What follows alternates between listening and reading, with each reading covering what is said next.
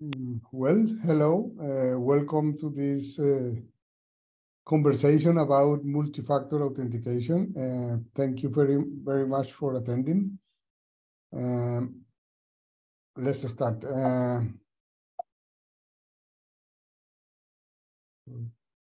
let's talk first about a definition for MFA. So MFA is uh, stands for multi-factor authentication. Uh, also is called two-factor authentication because most of the implementations are based on two factors. Uh, it's also called 2FA, two-factor authentication, and other similar terms. It's an electronic authentication method in which a user is granted access to a device, a website, or an application only after successfully presenting two or more pieces of evidence, those are factors, to an authentication mechanism.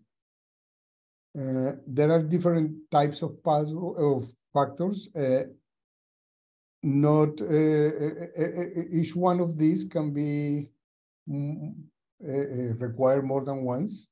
Usually it's only one, but according to the configuration, it can be more than one.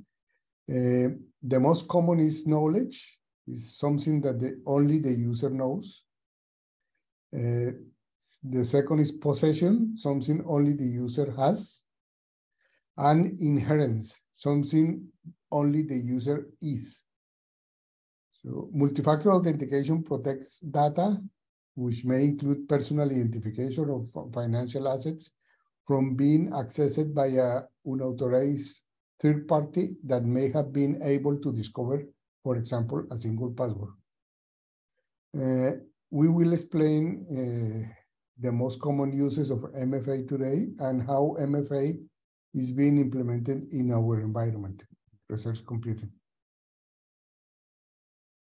Uh, knowledge. Knowledge factors are a form of authentication. In this form, the user is required to prove knowledge of a secret in order to authenticate. A password is a secret word or a string of characters that is used for a use for user authentication. This is the most commonly used mechanism of, of authentication today and, and, and in the past. Many multi-factor authentication techniques rely on passwords as one of the factors for authentication. Variations include, include both, both longer ones from, from multiple, multiple words, a passphrase, or uh, the shorter, uh, purely numeric, for example, a PIN or personal identification number, commonly used for ATM access. Traditionally, passwords are expected to be memorized. Possession Possession factors, something only the user has, has been used for authentication for centuries in the form of a key to a lock. Uh, only the person who has the key can open the lock. The basic principle is that the key embodies a secret that is shared between the lock and the key. And the same principle underlies possession factor authentication in computer systems. A security token is an example of a possession factor. Uh, there are, for example, disconnected tokens that have no connection to the to the client to the client computer uh, that is accessing the system or or a website or application. They typically use a built-in screen to display the generated authentication data which is manually typed by the user. This type of token uh, uses a OTP, a one-time password, that can be used in, in, in, for that specific session. So as the name says, it's one-time password. It can, be, it can be used only once. And usually these OTPs also have a very short life. So if you don't use uh, this password, it will expire in usually in 60 seconds. So if a hacker has access to this number, to this OTP, mm, he's not going to be able to do much unless he can do it within the time frame.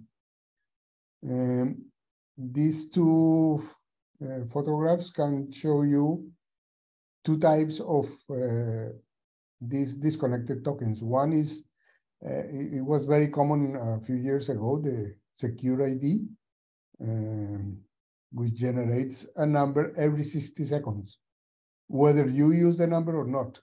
You, you, you, you, you don't need to, to, to ask the token to generate a number. It will generate the number every 60 seconds. Uh, the photo on the right is a screenshot of a cellular phone, uh, which is using Duo. Uh, in this case, uh, is generating a passcode. And this passcode is a one-time password. Possession.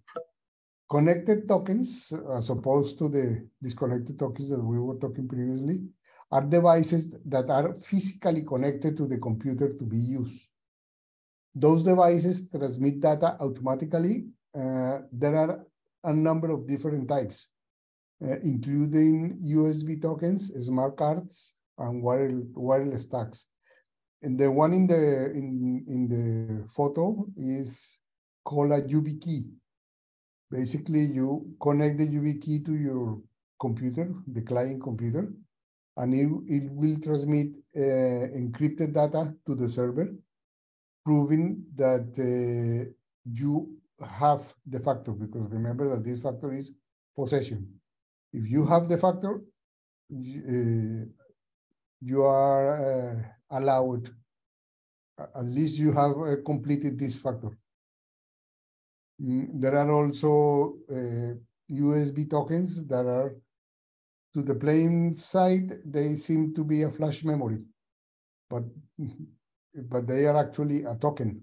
You have to connect the token to the client computer, and the client computer will transmit data that is inside that token and will authenticate you. Inherent. These factors are associated with the user and are usually biometric methods, including fingerprinting, uh, face, voice, and uh, iris recognition. Today, it's very common in, in, in, in smartphones to use fingerprint to access your, your smart device. Even in, in many laptops today, they have a, a fingerprint uh, reader. So uh, also very common today is face recognition. Uh, so you just put your your smartphone in front of you and uh, the smartphone will recognize that you are the person, the owner of the phone. Uh, also, there are voice recognition and iris recognition is is also used. Basically, you will read your eye and you will uh, find that you are the person authorized to, to access. Uh, multi-factor authentication also has application in physical security systems. Uh, these physical security systems are known and commonly referred as to access control. Multi-factor authentication is typically deployed in access control systems through the use, firstly, of a physical possession, so, such as a POP or FOB, a key card, or sometimes it's a QR code displayed on a, on a smart device, which acts as the identification credential. And second, a validation of one's, one's identity such as facial biometrics or retinal scan. This multi-factor authentication is commonly referred to as facial verification or facial authentication. Well, why is MFA important in IT security? Uh, this is a some uh, example of very well-known password hacks. Uh, PlayStation in 2011, 77 million accounts hacked. The biggest one is Yahoo in 2014, 3 billion accounts. The B is not a typo. 3 billions account hacked.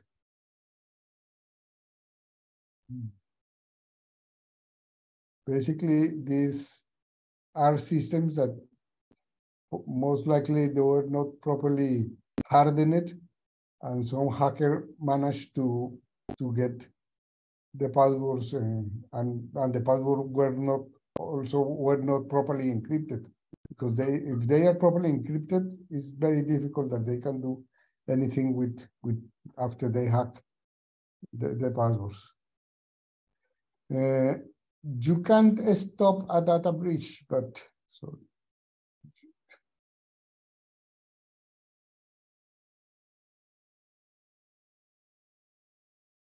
Um, okay, we were talking about some power hacks. For example, Yahoo in 2014, 3 billion accounts.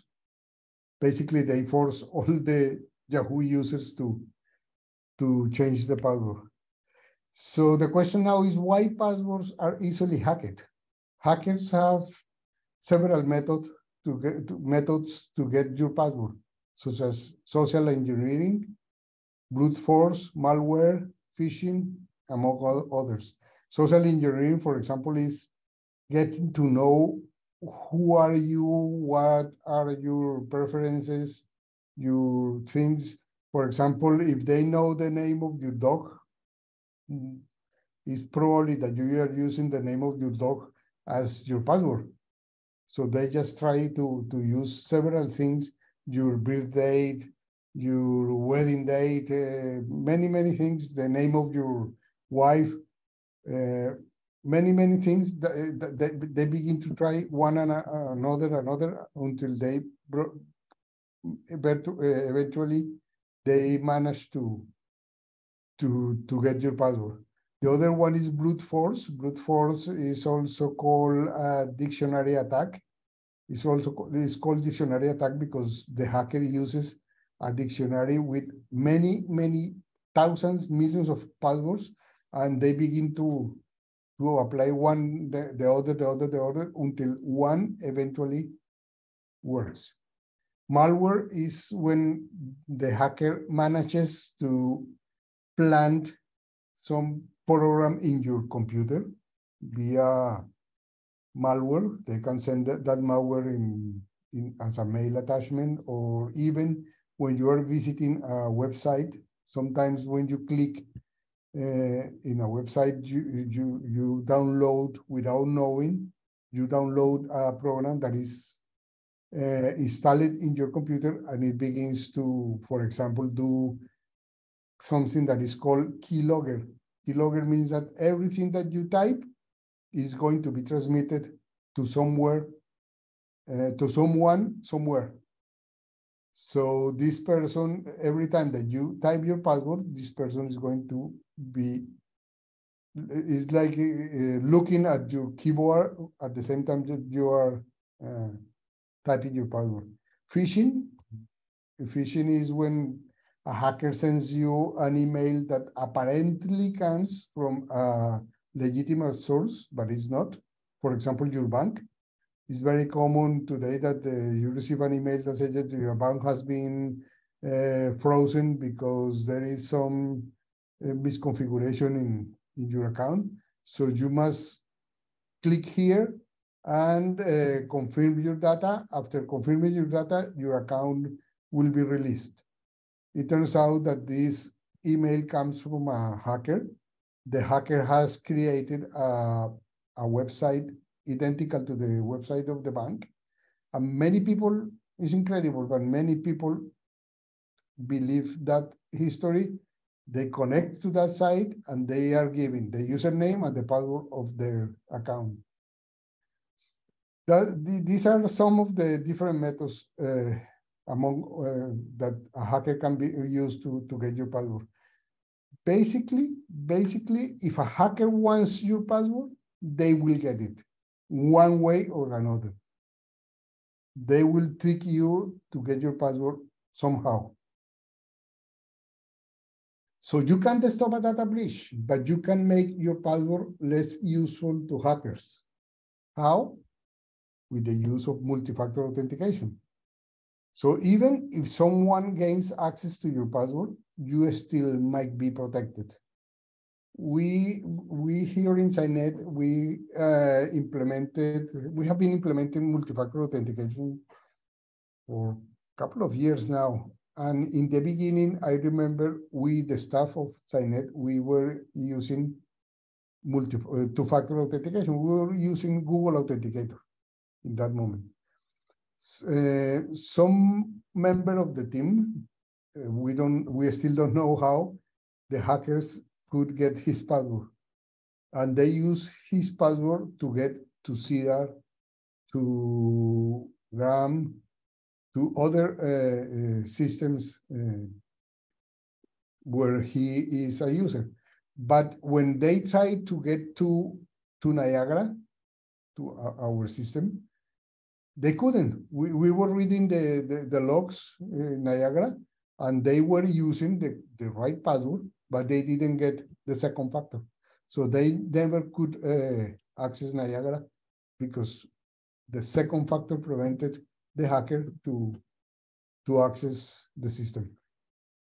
So most likely, uh, uh, if if the hacker has managed to get your password, uh, the second factor will protect you. The main benefit of uh, multi-factor authentication is that it will enhance your organization security by requiring users to identify themselves by more than just a username and a password. While important, username and passwords are vulnerable to brute force attacks and can be stolen by third parties.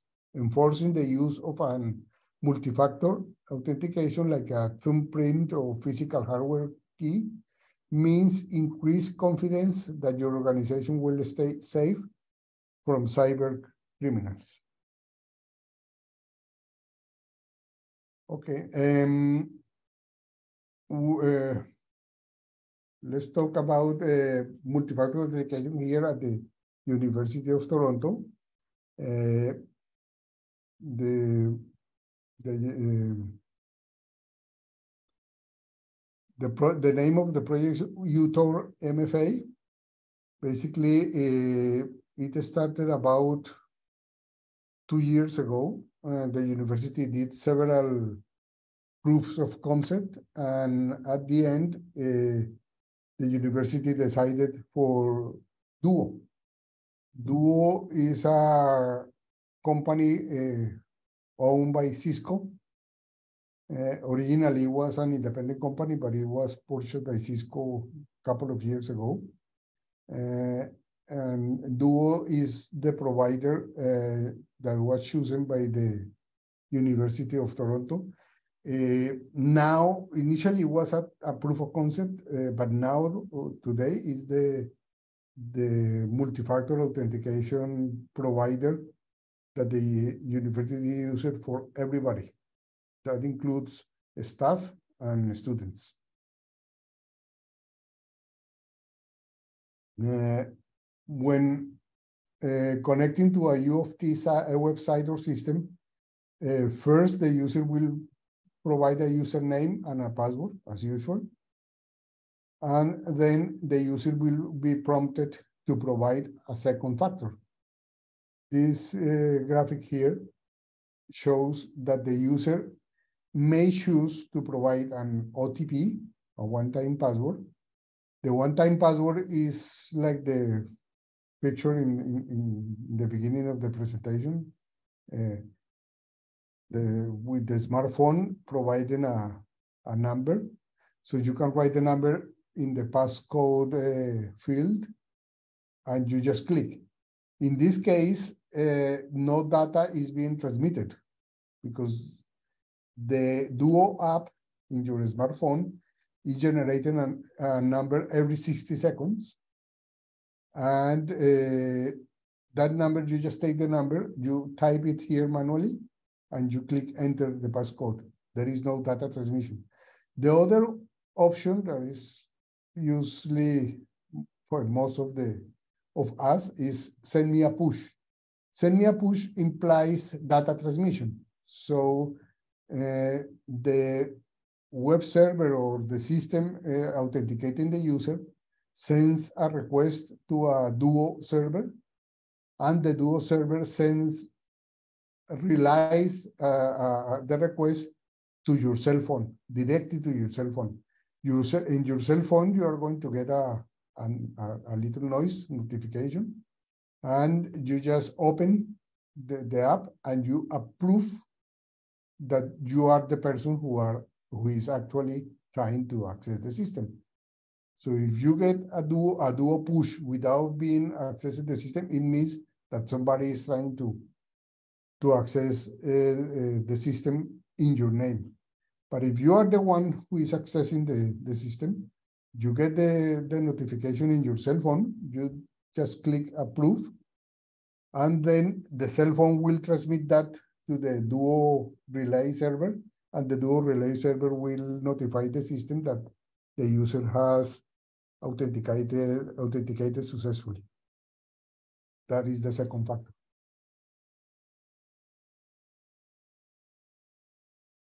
Mm,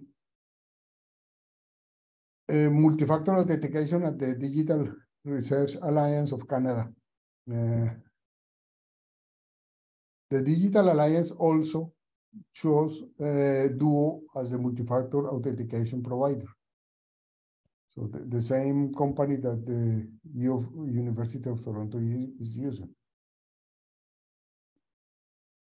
Uh, the Digital Alliance basically did uh, two proofs, proofs of concept between Duo, we have already spoken, it's a Cisco company, and the other uh, provider was privacyIDEA. Privacy Idea is an open source uh, system for doing basically the same than, than Duo.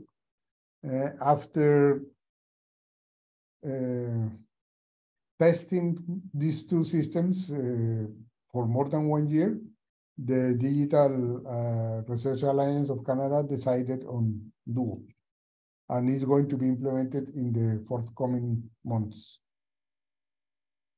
Uh, uh, there for uh, if you Google Authenticator, if you were to implement your own multi-factor authentication solution, because I have seen, for example, people who has implemented that in a private server or even in a workstation, in a Linux workstation. Uh, I have seen people that deploys uh, Google Authenticator as a second factor when accessing the, the, their own system. Uh, Google Authenticator can be deployed in Linux servers. It's an open source uh, uh, software. You just download it, it from, from GitHub and you install uh, um, you install the the server part on your server or the, the machine that you are expecting to protect. Uh, on the client side, uh, users just have to download the Google Authentication app. Google Authentication app uh, is available in in, uh, in the Apple Store for iOS devices or the Google Play for Android device. Basically, there is a, even if somebody still has uh, all the platforms uh, running in a, in a cell phone, even there is a Google Authentication app for those uh, for those uh, platforms. Uh, Google Authentication, Google Authenticator uses TOTP or one OTP. Remember, one-time password. TOTP means time-based one-time password. Uh, uh, that's we already saw that the, one-time password is one of the factors that basically is something that you have. Uh, just as a, information, uh, how does this one-time password works? In your in your cell phone, your smartphone, there is a seed, a little file with a key. That, that key, which is basically a string of characters, is called a seed. Seed because it's the one that generates the numbers. And the servers or, or the system that is being protected also has the same key in your name.